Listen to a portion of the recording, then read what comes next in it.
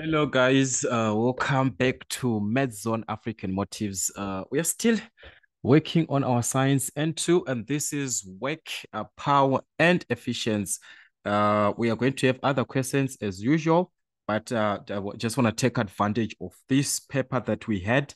Uh, that we that we just wrote this paper recently. So this is uh, November 2023 exam. So we are given on question number three, uh, question number four which is the work, power, and efficiency. All right, 4.1, define torque in this first, uh, in this question, that is our uh, first part of the question to define what is referred to as what? As torque. All right, uh, remember, as long as you talk about the torque, you're, you're supposed to be thinking of the turning force, right? Once we once we talk about this, you're supposed to be thinking about of a force that is supposed to to to to, to cause a rotation somewhere.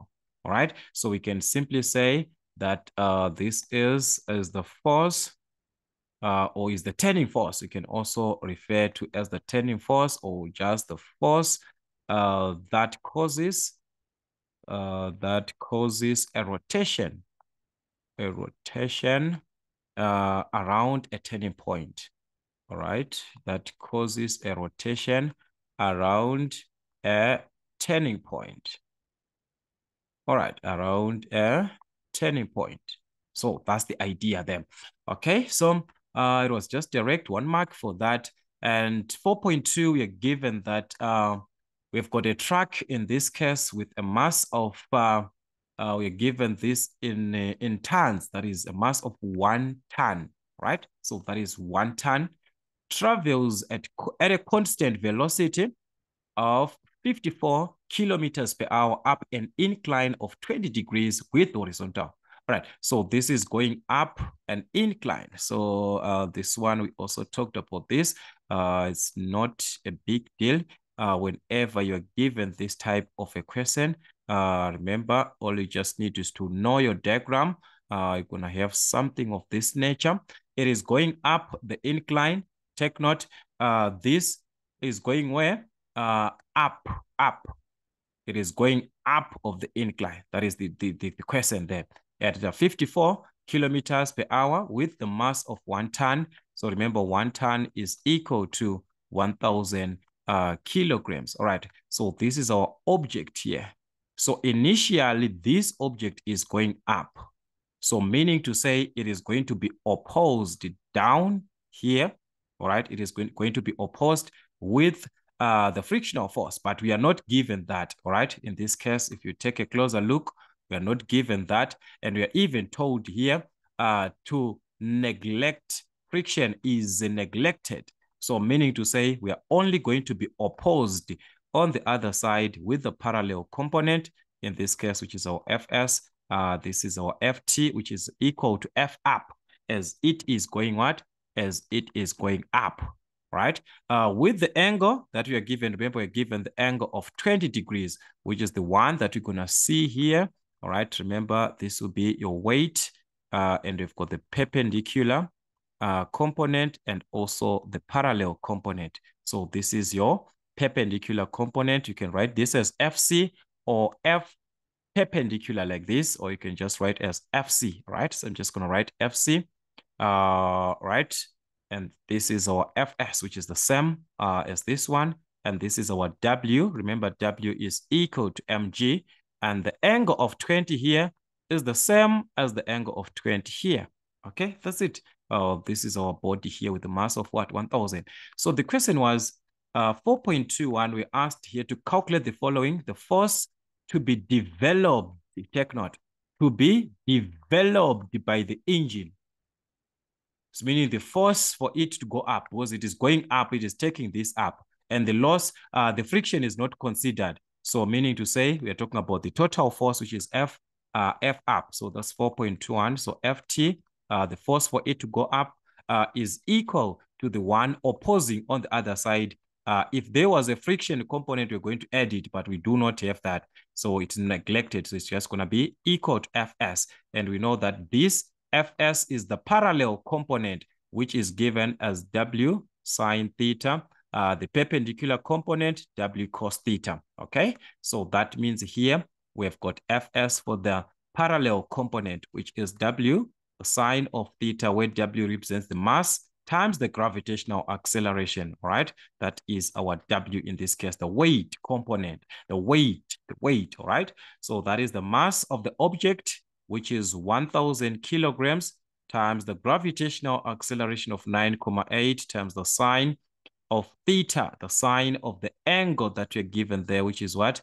Uh, 20 degrees. So that was going to give us uh, the required force, which is for this object to go up, uh, which is going to be 3,351,79 uh, 74, something like that, seven nine seven four zero five something like that, right? You can just write as 3, 3, 5, 1, comma 7, uh, 9, 7, all right? It's just going to be seven nine seven to three decimal places in what? In uh, newtons, okay? So that was it uh, on this part. 4.22, we are now given here to calculate the work done uh, by the force in eight seconds. The work done by the force in eight seconds. All right. Do we need work done when we are calculating? Uh, do we need work done? Actually, do we need like uh, time when we are calculating the work done? All right, let's see. Because work done is given as uh, that's 4 point, remember 4.22. We are given that the time there is eight seconds and we are supposed to calculate the work done. Why is that so? Okay, Work done is equal to the force times the distance taken. That's what we know. Force times this distance, which is um uh, work done. That's force times the distance taken. And in this case, we are asking ourselves like, um, but this information is not complete. Do we have the distance taken, the displacement? Okay, if we check properly, what we are given here is initially we've got the speed. If we check a closer look, the velocity, it is moving at a constant, constant, constant. The velocity there is the same, 54 kilometers per hour. So as it moves with the constant velocity of 54 kilometers per hour, all right, 54 kilometers per hour. Remember, we can we can change this to meters per second since one meter per second is equal to 3.6 uh, kilometers per hour. We're just going to divide this by 3,6. Uh, that will be velocity in meters per second, which is going to give us 15 meters per second. All right. Knowing this, that we have the time that was taken and the velocity is constant and want the displacement. If the velocity is constant, I want you to take it back to your uh to your normal uh, dynamics, let's go to auto back to our dynamics like this. We want to know how the velocity uh, graph is going to be like. This is your velocity. This is your time.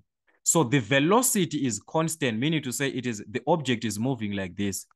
Yes, it's, it's going up the incline, which is true. It's going up the incline like this. This is the going up of the incline. But as it is going up, the velocity there is constant, is this is the same, even though it's going up of the, in, uh, the, the incline.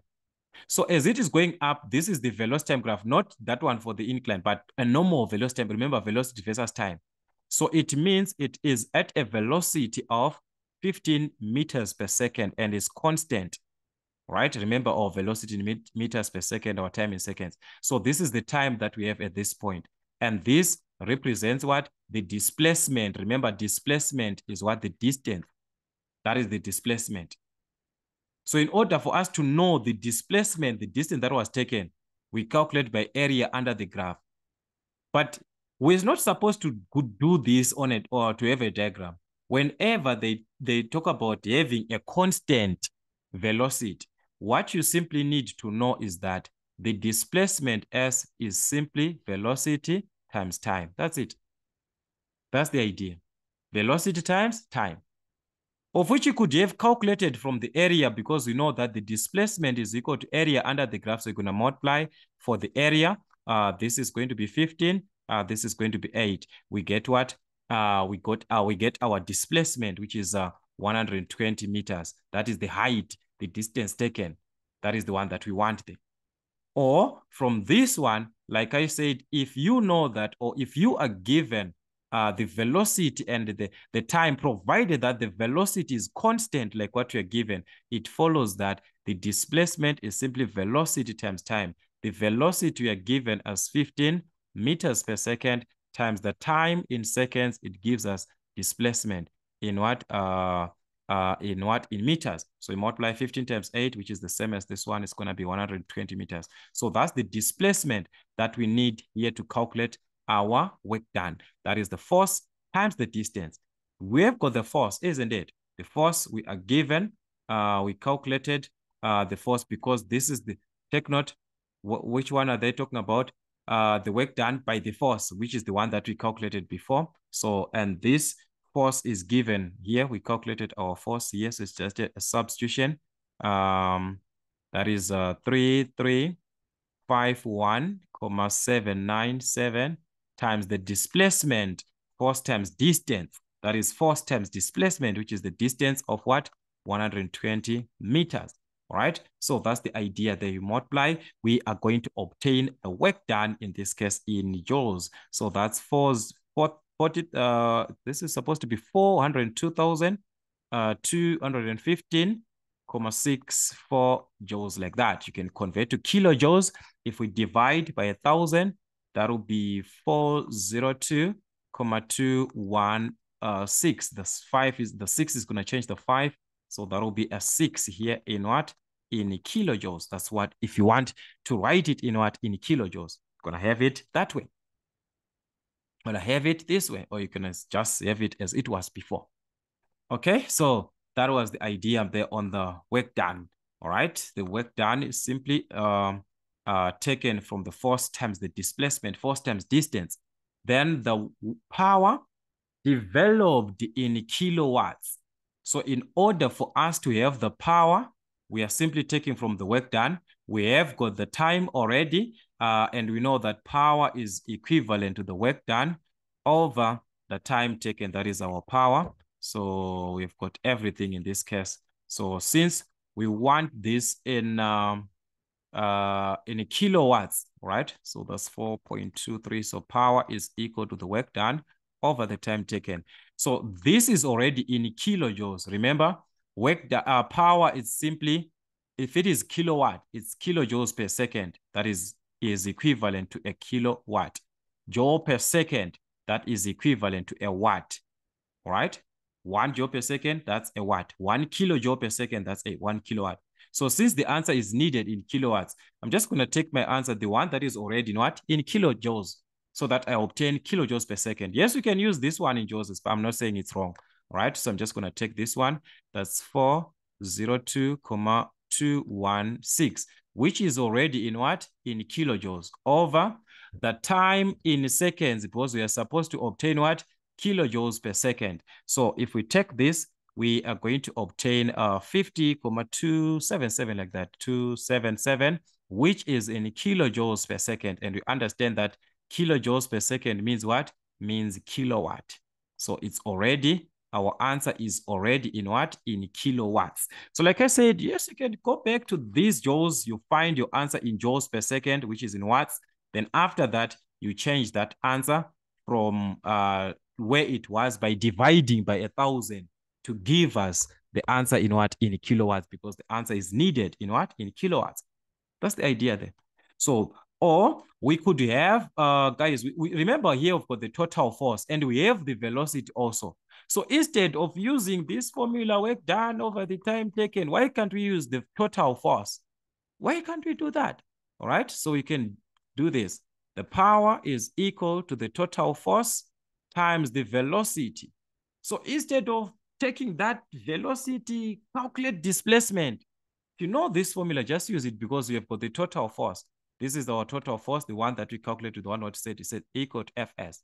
So the total force is already there. So our total force, uh, which is in this case, our total force is given as three, uh, this one, that was three, three, and so forth, and so forth, and so forth. All right. Uh, this one is the rounded off. All right, so I'm just going to take the rounded off value, 3351, comma, 797. This is the total force times the velocity. And this velocity must be in meters per second. So we have the velocity. Uh, remember, I okay, it, uh, there was our velocity. It was what? 54 kilometers per hour. And remember, we converted that 54 kilometers per hour and we got 15 meters per second, if you still remember. So we are just taking the answer that we had already or in meters per second. So that is going to give us the power. So, right. So if you multiply this, we are going to obtain the power, which is going to be 50,000 uh, 276,955 watts. All right. So to convert to kilowatts, because the power is needed in kilowatts, to divide by a thousand by 1,000. That's 50, comma 276. So this will change into seven. So it's to be 277. I showed you guys how also you can be able to convert this on your calculator. Uh, you can change that to three decimal places. Your calculator can calculate everything to three decimal places. That is how you could have calculated the power. That's another way. So you could have used this way. As you can see, you're obtaining the same answer. So it's up to you guys which method or which formula is easier according to the information that you are given. All right, so that was uh, 4.2, which needed this diagram. Okay, so if we check here, uh, 4.3, we are now given uh, the turning force. All right, so there, uh, let's see what you're given properly. All right, so this is it here. We're given that the turning force applied to a flywheel is, so we're given this as 1,650 uh, Newton. Uh, the diameter of the flywheel is 350 millimeters. So there we are given the diameter, uh, 350 millimeters. Convert this to meters. We're going to divide by a thousand or multiply by 10 to the exponent of negative 3. That will be 0 0.35 in meters, the diameter in meters. But this should be given or when calculating whatever that we need. And whenever we talk about the turning force, we think about what? We think about the torque because we had this on our definition. Remember when we defined uh, torque here, we said uh, that's the turning force, which is the force that causes a rotation. All right. So meaning to say, whenever we, we are given about a turning force, we think about what? The torque. And we said uh, the torque is given as the force times the perpendicular distance, which is the radius, force times radius. Right. The perpendicular distance from the center, which is from the from the center, which is from the center to the to the circular part, it is the radius that you consider there. All right. You consider the radius from the center, the distance from the center. So that means when I have the force 1,650 times the radius. Remember, radius is diameter over 2. Diameter is 2 times radius. So if you want to find the radius, you divide by 2. So that's the diameter in meters, uh, 0 0.35 over 2. To have what? To have the radius. All right. So that is going to give us the torque in this case. And torque, uh, from this calculation, it was going to give you uh, this is 1650 times this one as a decimal. Uh, that's 0 0.175. That's our radius. So if you multiply, you're going to get 288.75. 288.75 uh, Newton meter. 288.75 Newton meter. So these are the typical questions. You just have to be careful how the questions are given and how are you supposed to attempt the typical question. As you can see, uh, it was a nice question to consider uh, as part of revisions. And for those who wrote, and I think we managed to write this question properly uh, because I think everything is was fine. Maybe someone could just have a confusion here, but uh, for the power, but uh, this question was fine. Okay, let's hope for more to come uh, from Maths Zone African Motives till we meet again.